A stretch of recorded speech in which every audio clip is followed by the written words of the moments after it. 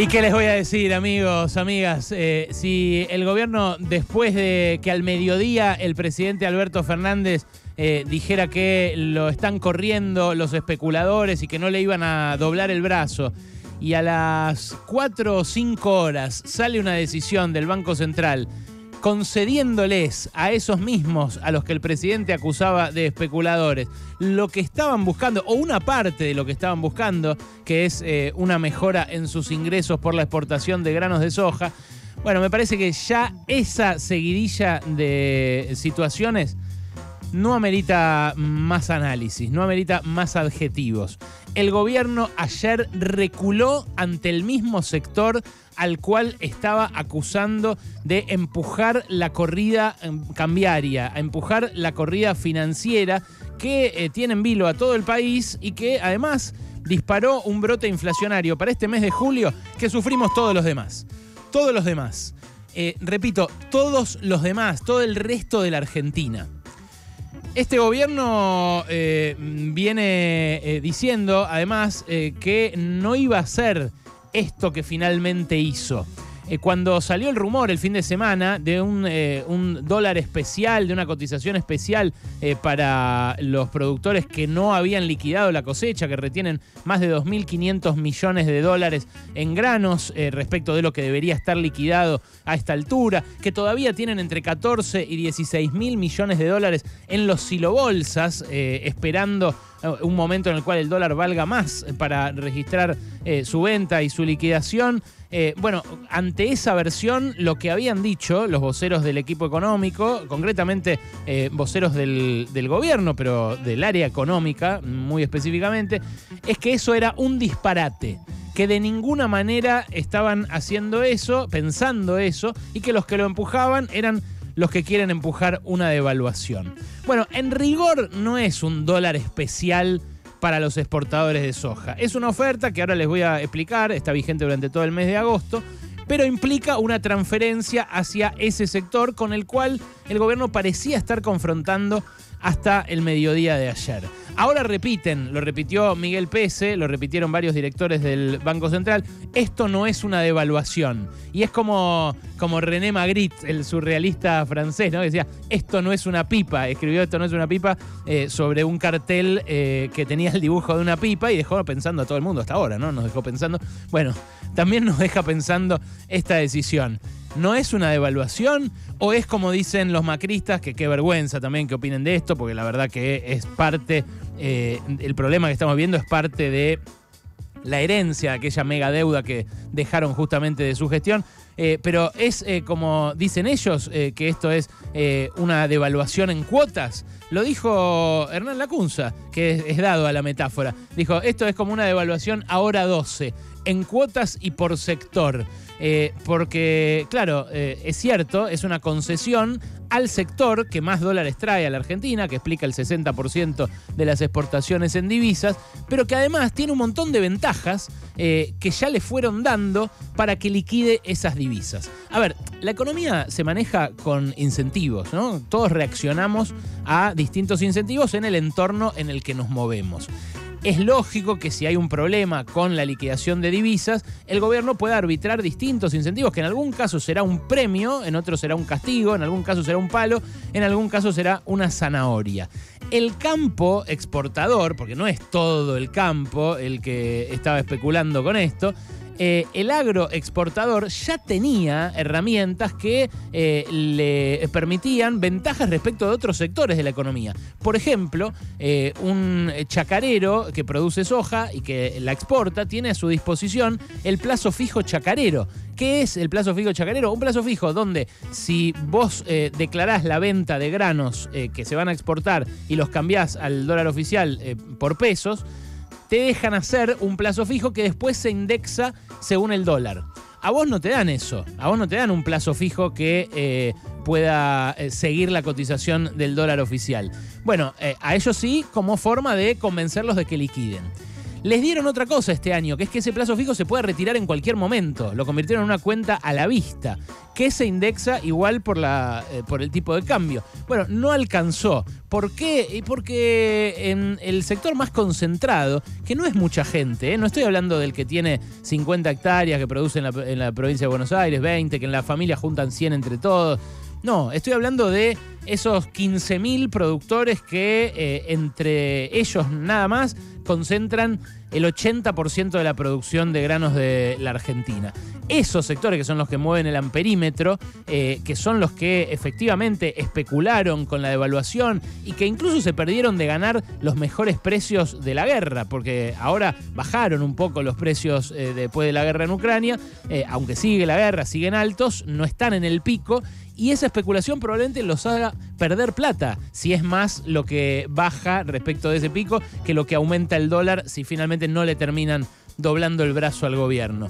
Ahora, a ellos, a los que ya le habían dado zanahorias, eh, le podrían haber, eh, por ejemplo, establecido un plazo eh, en el cual los seguían manteniendo, le seguían manteniendo esas ventajas y después sacárselos o podían también aplicar desde la hidrovía alguna penalidad para el que movilice granos después del 31 de agosto. Entonces decirle, vos ya tenés ventajas, necesitamos que eh, vendas esos granos. Esos granos son tuyos, efectivamente, pero vos por producir en la Argentina tenés los fertilizantes al tipo de cambio oficial, la mano de obra al precio de la Argentina, las rutas y los caminos que mantiene este gobierno, en fin, la sociedad hace un montón de cosas para que vos puedas producir y lo que necesita es que las liquidaciones de la exportación sean más o menos en los mismos meses en los que se da la exportación y no que haya un banco en cada campo donde eh, eh, cada uno especula con eh, cuándo termina de registrar una venta que a todo el mundo le hacen registrar cuando la hace.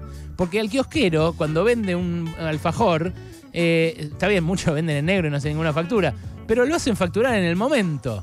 A mí, cuando hago una factura por un servicio que presto, facturo en el momento. Y claro, el campo dice, a nosotros nos aplican retenciones. Esas retenciones son lo que permite que el resto del país, que tiene una productividad menor que el agro, pueda vivir en armonía sin empobrecerse como se empobrecen los sectores que no son el exportador en todos los países que exportan algo de manera muy eficiente. Ustedes me dirán, ¿es un castigo eso a la eficiencia, a la eficiencia del agroexportador argentino? No, no es un castigo, es una forma de integrar esa economía al resto. Y claro, el problema es que el gobierno se puso a negociar y terminó reculando con un sector que le declaró la guerra.